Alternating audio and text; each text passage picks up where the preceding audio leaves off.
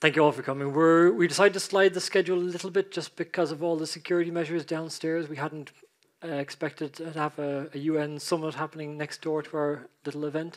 Uh, so thank you all for coming. Uh, we hope that you're going to have a, very interesting afternoon discussions now on this topic of the Cyber Resilience Act and also the digital policy in general that affects the free and open source software business ecosystem of Spain and of Europe and even the world. We have organized this uh, jointly with uh, the partners that you see before you. Uh, myself, I'm from Open Forum Europe. We're a think tank based in Brussels, and we try and work on the Brussels level EU led legislation.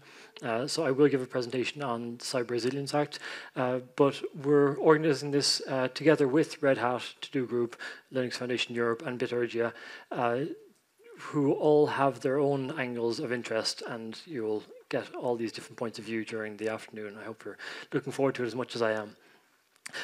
Other than that, I will mostly get straight into the, the content for the day, and for that, I will ask for my very basic slides to, uh, to begin displaying on the screen.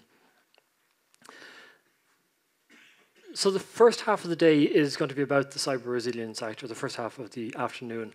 Uh, this has been a topic that has gotten a lot of attention over the last 12 months, and it really got off to a little bit of a, a rocky start because we are used to having to deal with legislation, but a lot of the time it's copyrights or it's patents and we can go to different organizations, we can say who's your copyright specialist, but this is the first time I think that we've really had uh, market regulation, uh, and so in that sense it was difficult to, to find all the right people, but a, a very large coalition did form to work on this.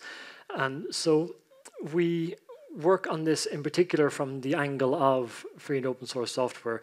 Now, the Cyber Resilience Act is not about just free and open source software, but we hope that there are other people in the software industry working on other parts, and we focus mostly on, on the parts that are specific to our sector. So the general idea of the Cyber Resilience Act uh, is that product safety should be that exists already for physical products should be expanded to include software. And so this means that products have to be safe for the things they're going to be used for, but also for things that you don't didn't expect people to use them for, but you could for, for you could imagine they're going to do.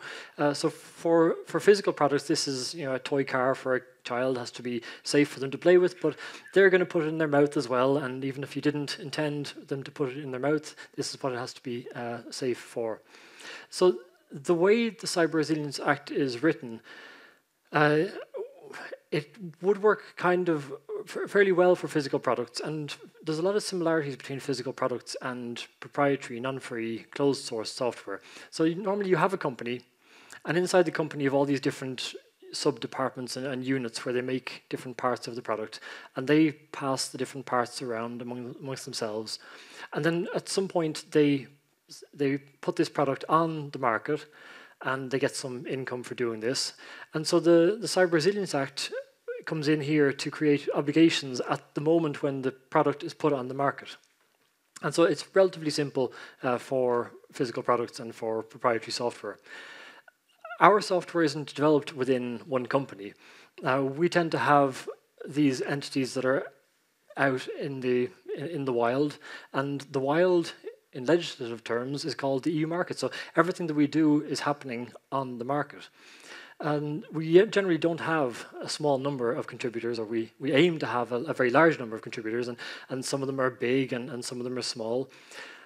The issue for us then is what happens if we get new legislation which adds costs and obligations each time the software gets moved around among these different entities.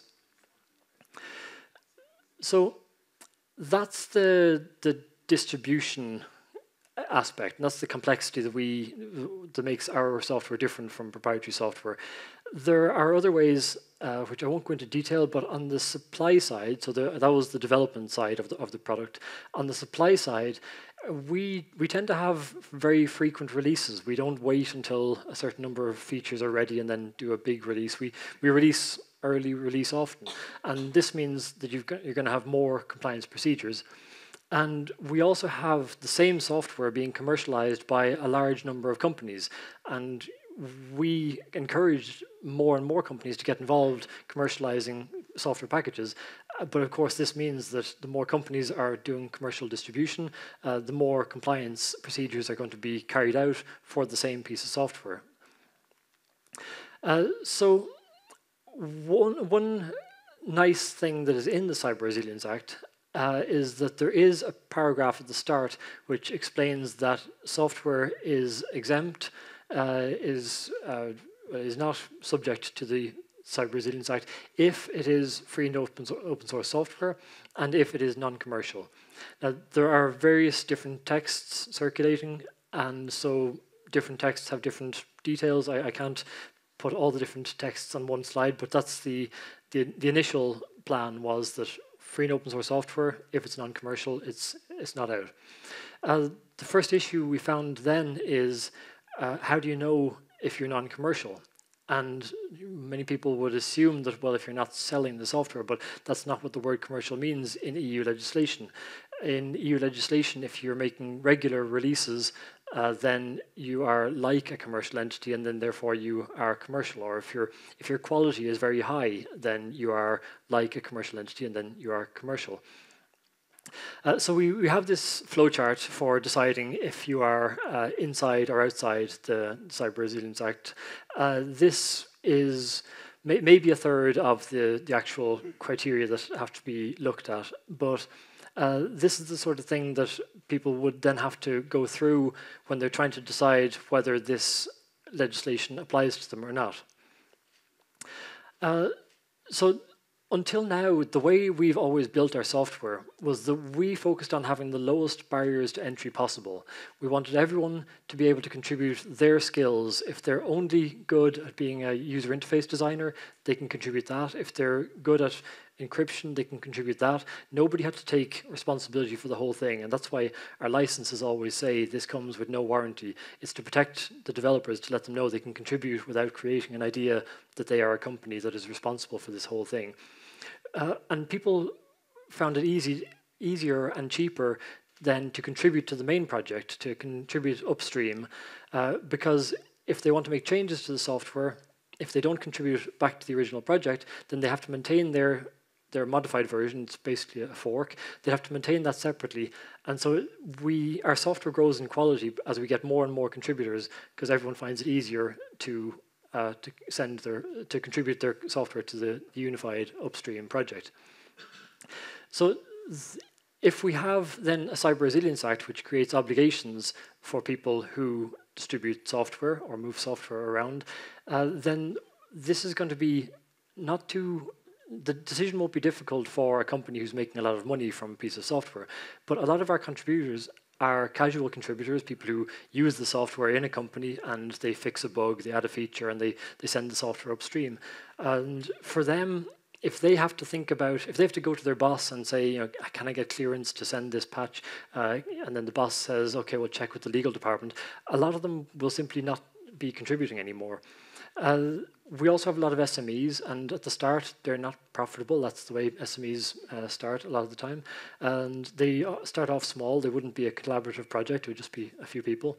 Uh, we have a lot of people in risk adverse sectors, and in particular the public administrations. We've spent 20 years trying to get public administrations to join in in the development of free and open source software. And in the last 10 years, they, they've, they've actually started. And it would be a, a real shame if they then slowed down again uh, simply because every time they're thinking about distributing software, they have to think about uh, do I have am I creating obligations for my, my, my government department department? And then there's also a lot of individuals and consultants who simply don't have legal staff to give them opinions and they would be nervous about contributing. So that's from the contributors side. Then the other issue is that from the project side, whenever somebody does decide that they're going to contribute code upstream, the projects will have to think, well, do I want to accept that code? Because once I accept that code, I'm going to have to take responsibility for it. And you know, th this is a, problem if we want to grow our community by having more and more con people contributing, uh, but this then creates more and more questions for the, the maintainers of the project. So uh, just to, to, to summarize some of the, the previous slides, just for, for brainstorming to for, for the discussion that will happen later. Uh, we have to think about SMEs and anyone with a, a lean business model. Uh, we have to think about how team building might become difficult. Uh, we have to think about that people may stop distributing software and we may move more and more towards software as a service, which means that in Europe we have even less control over our, our computing and we're uh, often financing industries in other parts of the world instead of financing our own industries. And, and finally, if we make it difficult for development to happen in the EU, uh, it's possible that a lot of companies will con continue their development in other parts of the world and they'll still send the, the released versions to the EU and there will be Cyber Resilience Act compliance, uh, but the, we will lose expertise and we will no longer have develop as many developers in the EU, uh, which would be useful for doing security audits and addressing security issues. So right now the situation is that we've been looking at this for more or less 12 months. Uh, we're in the trilogue, which is the, the final stage now, uh, possibly the, the final two weeks. The, uh, the, the text has been improved in, in quite a number of ways. There, there's clarification now that people simply hosting code, uh, platforms and code hosts will be uh, exempt. Uh, there's a new idea that foundations would be referred to as stu stewards, and they would no longer uh, face the possibility of fines. And maybe I should mention the, the minimum category of fines in the CRA is an up to 5 million euro category. Uh, there is a, an idea of a risk assessment, uh, which could allow some flexibility in, in deciding whether or not the, the CRA's obligations apply. Uh, but there's very little details on this, so this is something we still have to work on in the coming days. Uh, the idea here is that the, the CRA says that you cannot distribute software uh, if it contains exploitable security vulnerabilities. And of course, there are many pieces of software that contain exploitable security vulnerabilities, and we would like to continue to be able to distribute those pieces of software uh, in the EU. So the idea of a risk assessment could, could allow for that. And the implementation, which was originally planned to happen 24 months after the law was finalized, uh, it's now looking more likely to be 36 or, or even 48. Uh, so there, there is quite a good bit of progress being made, uh, but there are still definitions and uh, there are still parts of the text that rely on this concept of whether or not your software is commercial or whether you you are commercial, and the, these are often very unclear for software and for online services. And then to be a, foundation who would be a steward, you have to uh, make sure that your the money you're receiving is only covering costs. And of course, for a foundation, they would generally aim to have a surplus at the end of the year, and they would generally aim to be to be growing uh, year by year to, be able to take on more staff, and including for dealing with things like Cyber Resilience Act. Uh, and so there are, there are a lot of definitions like this that we're still working on even at the, in these final days. So that's what's happening right now in the, uh, in the legislative process. Uh, we're, we're trying to get these definitions done. There's a very limited time because of the European elections in next June. Uh, most pieces of legislation are being finalized hopefully by the end of this year so that then uh, people can focus on re-election campaigns and, and the, there's no clash between that the elections and, and legislation. Uh, but once the Cyber Resilience Act gets finalized, uh, we then have uh, 44 obligations in the Cyber Resilience Act, and each one will be subject to a standards procedure. So there's going to be a standard setting body which will give a, a definition or some uh, clarity on what these obligations mean individually. Unfortunately, uh, free and open source software uh, is not very well represented in these uh, standard setting bodies, and uh, SMEs and innovators in general are also uh, fairly weakly represented. Uh, so we'll have to work on standards and hope that we can improve our efficiency there. businesses will have to adapt procedures and to comply with the CRA. Uh, some businesses will find it easier to continue their business somewhere else, so we will have to take into account that Uh, there will be some businesses who will no longer be contributing. Uh, and then as a community, we'll have to organize to try to develop ways to comply with the Cyber Resilience Act in a collaborative way if we can centralize how this work is done uh, and by doing that, hopefully, we can minimize the number of companies that do decide to leave the European Union for uh, for uh, a less regulatory uh, regime elsewhere. Uh, so we. Uh, we, we were glad to see that there is a paragraph about free and open source software in the text. on the other hand, according to different studies and numbers, 75% uh, to 95% of software today is free and open source software. So uh, this is going to be the subject of a lot more market regulation in the coming years. And we're going to have to think about the idea that regulation and procedures is uh, a way that you can improve cybersecurity, uh, but our software with access to source code and the permission for anyone to audit it and to improve the security is also a way that we increase the cybersecurity in the EU. And so at the moment, the CRA is focusing on regulation and procedures, and we have to try and find a way to make regulation and procedures work hand in hand with making use of the, the, the unique uh, opportunities that our software provides. Uh, and so we probably should expect uh, regulation in the future that will focus hopefully on uh, part two uh, of those two criteria. I had a sentence at the end, but I moved it up the top just to make sure nobody is going to miss it at the very bottom. What we really need is as many commercial companies as possible taking an interest in free and open source software because this is how we improve our security. The more contributors we have, uh, the the more review and the higher the quality of the software. So we have to think about how to how to preserve the number of contributors we have and and encourage more companies to get involved. Uh, so to summarize what will be discussed on the panel, the problems of the problems created are that one is developers will be nervous about putting software online. Uh, projects may be nervous about accepting con contributions. Uh, projects may have less interest in starting a business, and this would be really unfortunate because starting a business is one of the best ways to uh, to, to increase the quality of, of, your, your software. And then projects might also be unwilling to accept financing, which would again be a, be a pity if uh, we had a way to finance the development of our software, and we had to people felt the obligation to refuse because they don't want to lose the non-commercial uh, categories that they're in. Uh, so we're we're still working on terminology, and the, the there is a text circulating which creates a, a lighter regime for the, the, foundations, which I mentioned as would then be called stewards. Uh, it does this by defining these entities working on projects that are fully decentralized or collaborative, and so we have to think about what these words mean because that's it's not defined too clearly in the text. Uh, the text mentions the idea of having a single company exercising control. And we also have to think, well, what does this mean? And, and you know, for us, having a release manager is a sign of the quality of a project. Uh, but would this then cause a project to not be collaborative if there is a, a company who employs the release manager?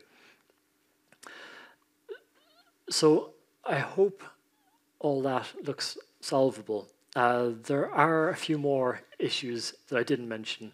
Uh, there are stricter categories for critical products, which include things like web browsers, and they may have to register with national authorities when you're developing these projects. Uh, there are issues for component, third-party components and due diligence. Uh, there's discussion of an exemption for the public sector, uh, which could be good or could be bad or may may, may not work, but that, I'll let somebody else uh, delve into that. Uh, support term, uh, the, the Cyber Resilience Act requires that you provide security updates uh, for, for five years. And so this, this number uh, is up for discussion and uh, that may change. And then the last topic is responsible reporting of vulnerabilities. This uh, has gotten a lot of interest from national governments, uh, to the so much so that uh, they want to work mostly on it themselves.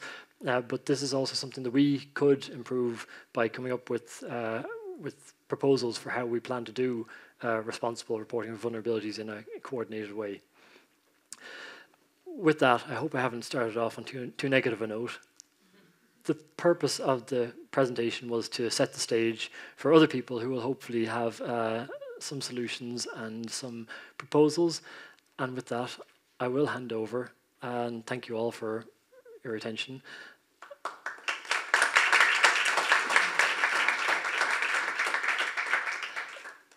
I welcome to the stage Javier. Thank you.